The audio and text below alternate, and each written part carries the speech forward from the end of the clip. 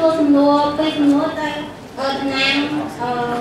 គណៈបកអំពីទីមួយខ្ញុំសួរអំពីគោលនយោបាយការការកតទេ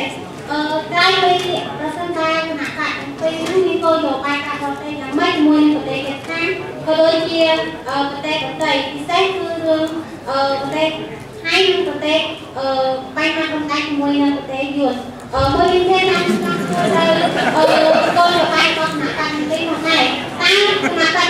ពីមា នគោលគោលនយោបាយបែបណាក្នុងពេលបច្ចុប្បន្ននេះដោយសារតែមានជនអន្តោប្រវេសន៍ច្រើនចូលមកក្នុងប្រទេសកម្ពុជាតែអឺក្នុងគណៈក្នុងមានអឺគណៈបកអំពីមានគោលនយោបាយនៃប្រទេសក្នុងការទប់ស្កាត់ក៏ដូចជាមានបាក់អ្វីផ្សេងៗនៅក្នុងប្រទេសកម្ពុជាដើម្បីកុំឲ្យមានជនអន្តោប្រវេសន៍ច្រើនពេកក្នុងក្នុងប្រទេស